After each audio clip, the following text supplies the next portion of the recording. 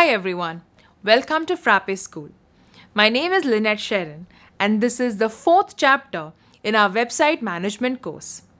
Today, we will be discussing to publish web forms using ERP Next. By the end of this chapter, you will know creating web forms, writing scripts for web forms, enabling payment gateway in web forms. External stakeholders like leads, customers, job applicants, or partners may need to share certain data with you. For example, job applicants need to create job applications, customers need to register a complaint, partners need to share some data. You can let such data be collected via web forms in ERPNext. This saves enormous amount of time for your employees. You can build web forms based on any doc type in ERP Next. For example, you can publish a web form based on job application so that when applicants fill the form and save it, a job application record is created in ERP Next and the recruiter in your company can further process it. Similarly, you can let your prospects to create a lead directly via a simple web form. This removes the need for manual creation of records based on email. You can even enable payment gateways on web forms which will allow you to collect payment from visitors. For example, you may have a conference or a consulting session which visitors can book and pay for. Web forms refer to any kind of forms that collect information on a website. For example, contact us forms or reach out to us forms that allow you to fill in details and submit them. We can see the list of web forms in our system by going to the website section in the website module and opening web forms. We can even search for it using the awesome bar. Here, we can see a list of pre-existing web forms and we can create a new one by clicking on the Add Web Form button. Once we open a new web form, the first thing we have to do is set a title for the web form.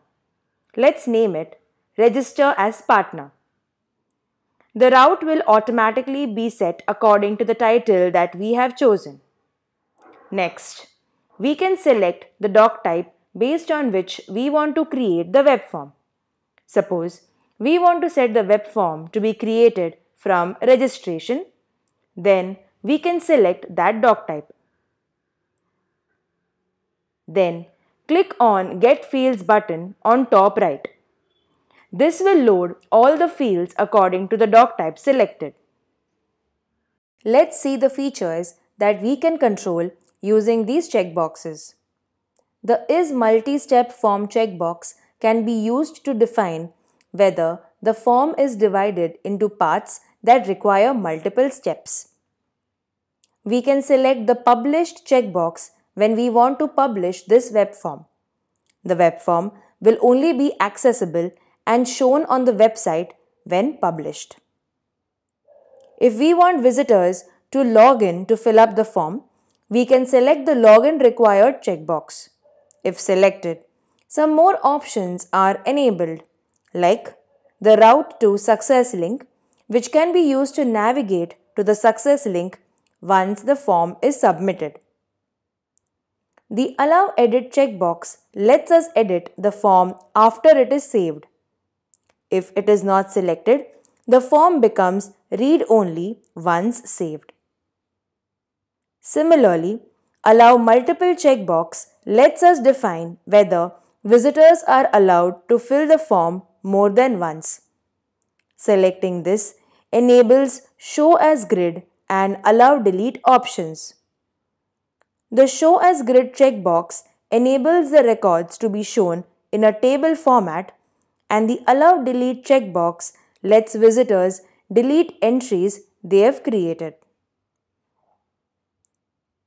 If we have any role permissions applied to this doc type, they will be auto-applied to this web form if we select the Apply Document Permissions checkbox. The Allow Comments checkbox shows comments to be added on the form that is created. The Allow Print checkbox allows users to print the document. If selected, we can select the print format. Next, we can use the Show Attachments checkbox to enable the display of any attachments on the form. And lastly, the Allow Incomplete Forms checkbox lets visitors submit the form with partial data filled. Next, using the Introduction section, we can add any introduction text or message that we want to show above our form. Moving on, let's have a look at the field section. As we have done before, the current fields are based on the doc type we've selected. We can change the labels for these fields. We can also add or delete fields. It is recommended to keep forms as minimal as possible so that they don't become cumbersome to fill. We can even set a maximum attachment size here. Once we updated the field list according to our preference, we can click on Save. Then See on Website button in the sidebar to view the web form. We can also use the client script field to write client scripts which are small code snippets that are executed in the browser to extend or customize the standard functionality of ERPNext. For example, validating your inputs, autofilling values, showing a success message, or any arbitrary action.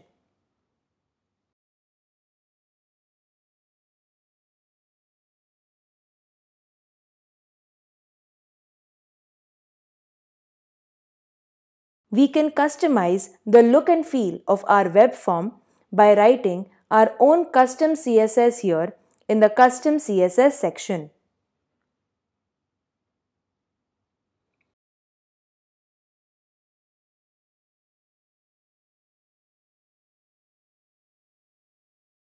Next, in the Actions section, we can add a label to our button for the form.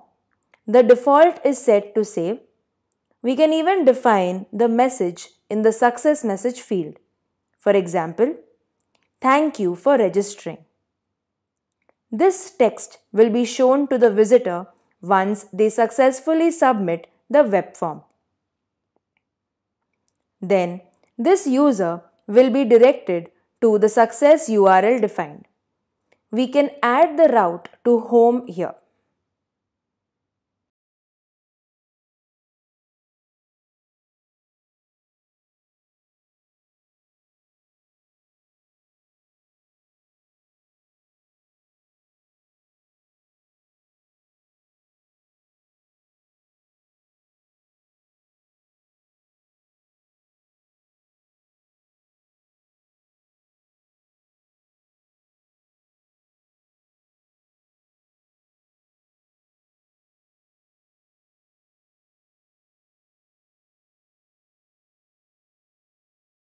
Next, in the sidebar settings section, we can use the Show Sidebar checkbox to show contextual links in a sidebar on your web form.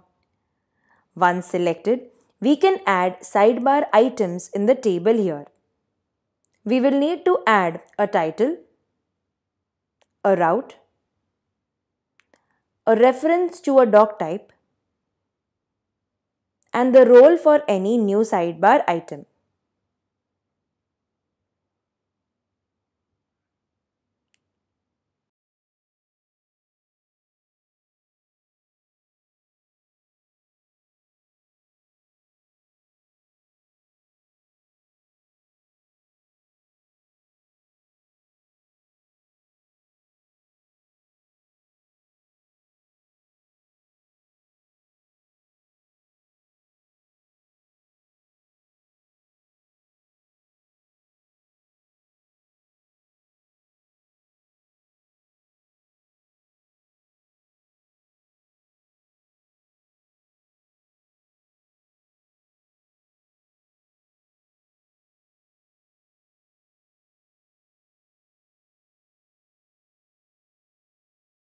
Next, we can use the payment section to add a payment gateway to the web form if we want visitors to pay against the form. To activate payments, we need to select the Accept Payments checkbox. First, we need to select an integrated payment gateway, for example, Paytm. Then, we can add a label for the button label, which will be Pay Now, and add a button help which allows us to seamlessly accept payments on our website. Next, if the doc type we've selected has a currency field, then the amount can be taken from there using the amount based on field checkbox. If not, we can manually type in the amount as well. We can also select the payment currency here.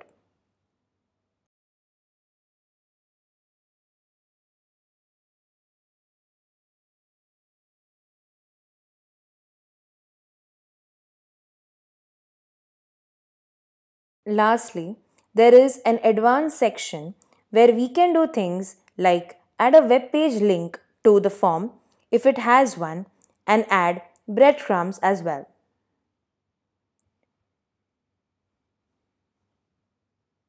Once we've configured this web form according to our preference and use, we can save it. This brings us to the end of the fourth chapter in our website management course.